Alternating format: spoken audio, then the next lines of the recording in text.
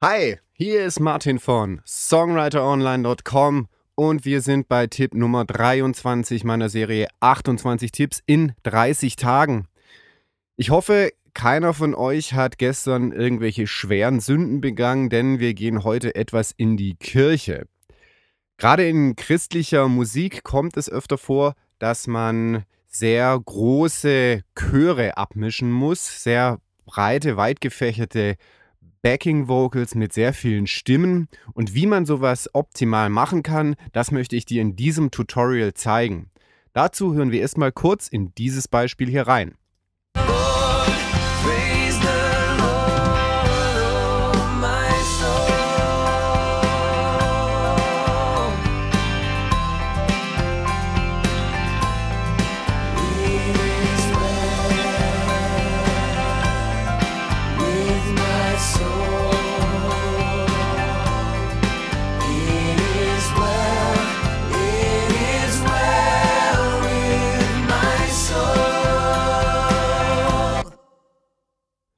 Okay, hören wir uns diesen Chor hier jetzt einfach mal erst solo an.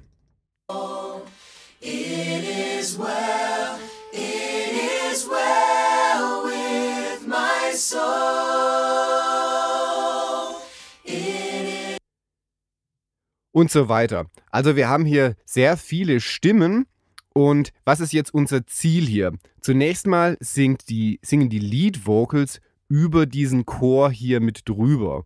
Das heißt, die Lead Vocals sollten immer noch leicht im Vordergrund sein, wenn wir diese Backing Vocals hier drunter mischen. Die müssen immer im Vordergrund bleiben. Hören wir uns diese Lead Vocals hier im Vordergrund mit dem Chor zusammen mal an.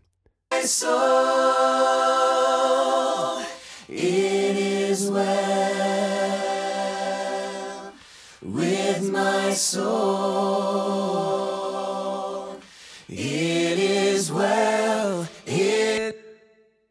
Okay, ich habe es jetzt schon so gemischt, dass die Lead Vocals leicht im Vordergrund sind, dass man die immer noch vor dem Chor wahrnimmt. Jetzt haben wir hier verschiedene Chorstimmen. Ich glaube, hier sind sogar mehrere Stimmen pro Mikrofon aufgenommen worden. Und wir hören in diese Stimmen rein. Ähm, ich höre mal solo jetzt einfach rein kurz. Oh, it is well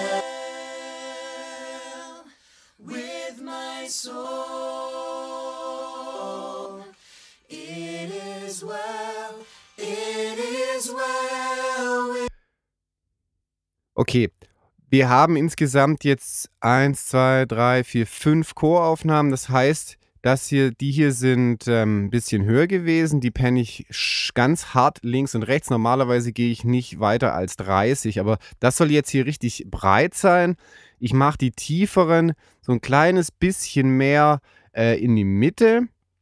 Ich lasse den die letzten Choraufnahmen hier in der Mitte, weil es eine ungleichmäßige Zahl jetzt hier ist. Das heißt, wir haben also die höheren hart links, hart rechts, die ein bisschen tieferen, ein kleines bisschen weiter in der Mitte und eine lasse ich komplett in der Mitte hier.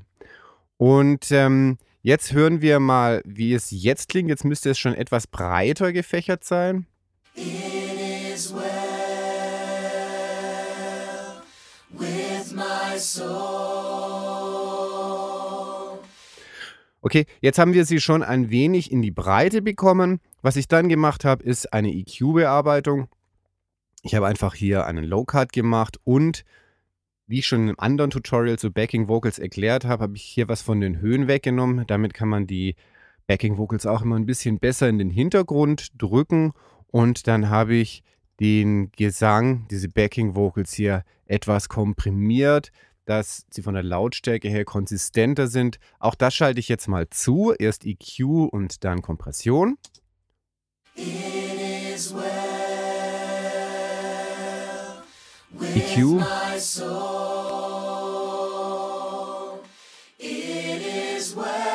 Well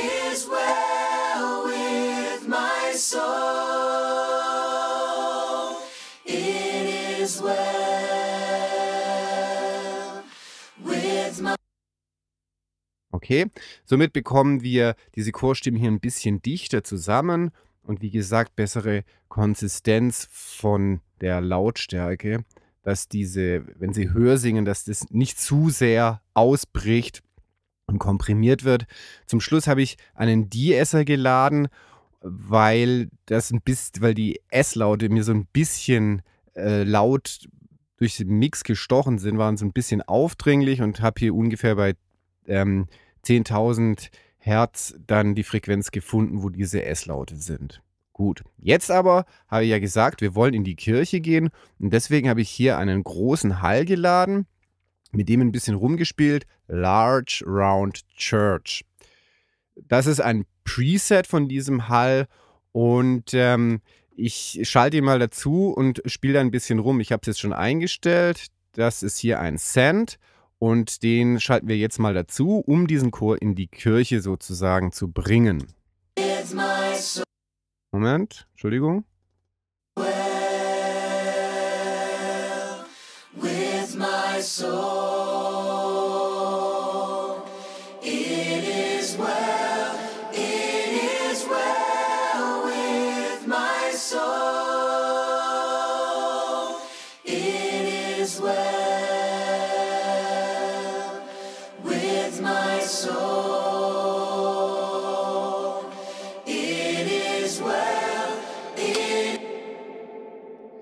Der Hall ist relativ silbrig, also relativ viel Höhen da drin und äh, klingt auch so ein bisschen verwaschen, aber wie gesagt, ich wollte, dass es wie in einer Kirche klingt und eine Kirche klingt nun mal ein bisschen so.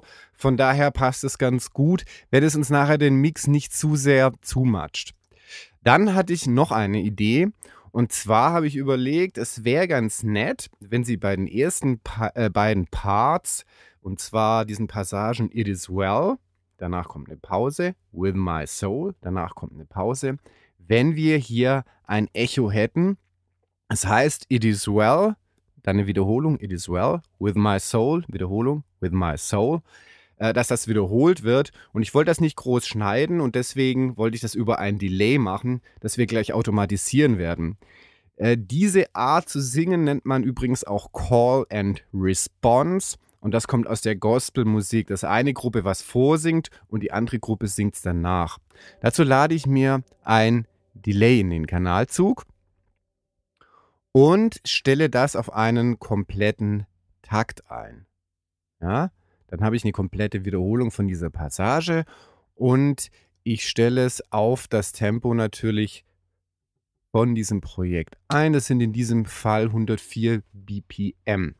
Jetzt schauen wir mal, was passiert. Das ist auf Bus 11 und ich lasse es jetzt einfach mal an. So.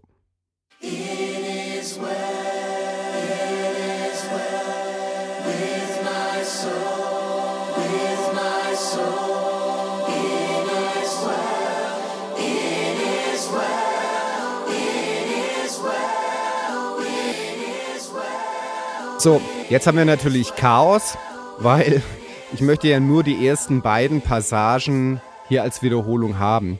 Deswegen automatisiere ich jetzt dieses Delay. Und das mache ich jetzt manuell. Mach mal den Mixer weg und wir gehen hier in die Automationsansicht.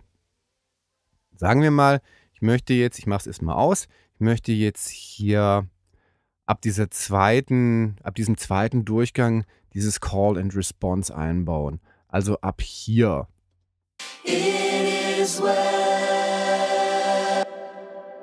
Okay. Jetzt machen wir hier einen Bypass. Das heißt Insert Bypass von diesem Age Delay.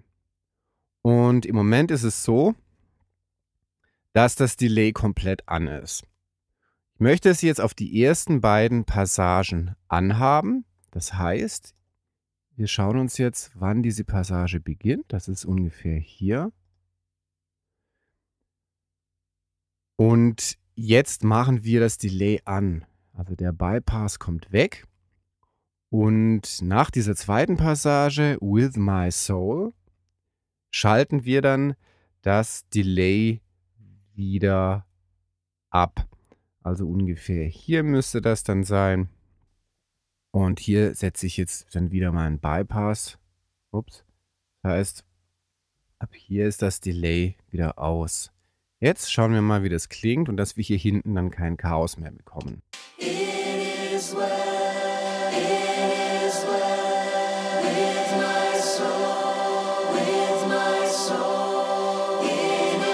Gut,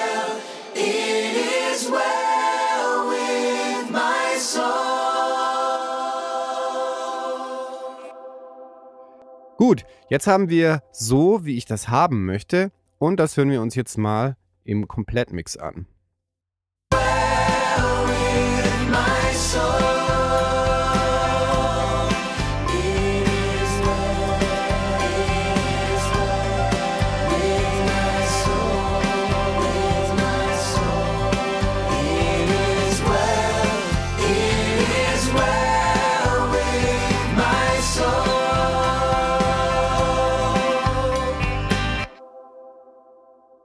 Und schon haben wir uns einen kleinen Gospelchor gebastelt.